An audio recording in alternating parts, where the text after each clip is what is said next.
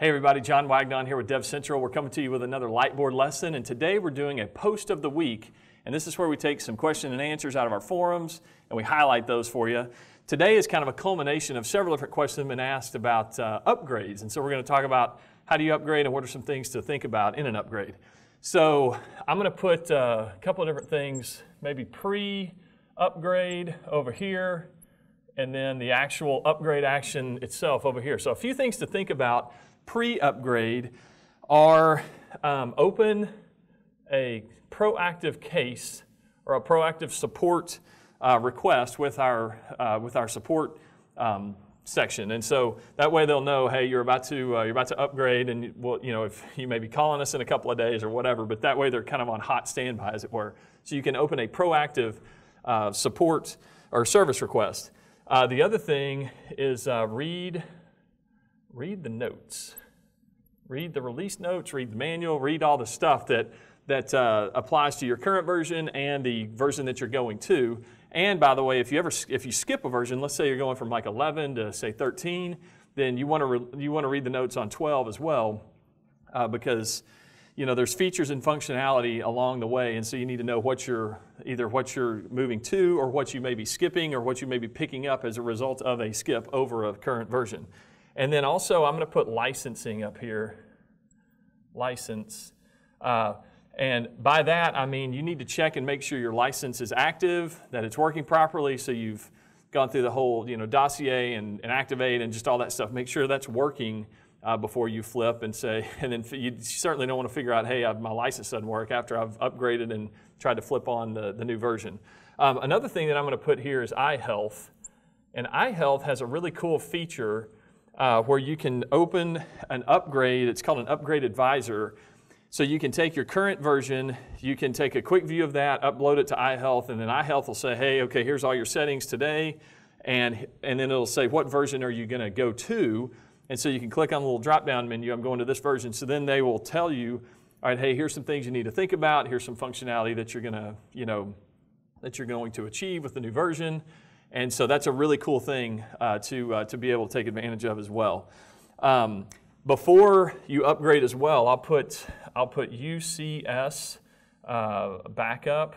So before you, before you actually do the, uh, the upgrade, you want to take a snapshot of your current version, maybe do a UCS backup, maybe even save that off box just to be completely safe, just in case something crazy happens. Uh, but that way you've got a, a backup, a snapshot of, of where you are today. Um, so once you've got the snapshot, the backup of where you are today and how things are working, now it's time to actually upgrade. So I'll put upgrade over here, upgrade. And then whenever you do the upgrade, you can upload all the bits, all the files, and all that stuff um, even before you, you activate it. So, so you want to upload everything, of course, upload. And then you want to, um, uh, you want to fail over to the, uh, to the, to the, what would be the standby at that point, fail over to that, uh, that big IP.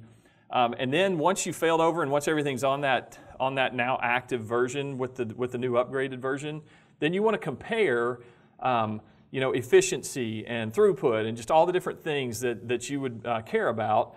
Uh, compare that to, to where you were back here with your baseline and kind of your, um, uh, you know, your, your, your, well, your baseline from your old version.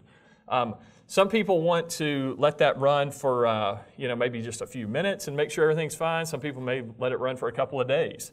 Um, but nonetheless, you want to fail it over, and then uh, and then you would have already uploaded to all the other ones, as uh, all the others say standby backup um, at that point as well. Then you then you would have the capability to activate all of those new licenses also. So once that's working, uh, then then now you're you know now you're good and you're happy that everything's working properly. A couple of quick things that I'll put as well is i am going to put default here, and just keep in mind default. Goodness, AU can't spell default. Anyway, your default profile on say.